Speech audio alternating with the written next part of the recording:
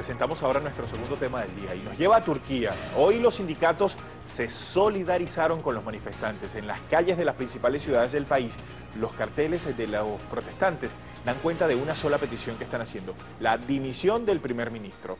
La Confederación de Sindicatos de Trabajadores Públicos, que reúne a 11 gremios allí en Turquía y a cerca de 250 mil trabajadores, se sumaron a la protesta que están adelantando una huelga nacional que tenía planeada para mañana miércoles 5 de junio. Ahora los manifestantes exigen la renuncia del primer ministro, además de los eh, capitales a las manifestaciones se unieron la mitad de las provincias del país y los turcos que viven en Europa.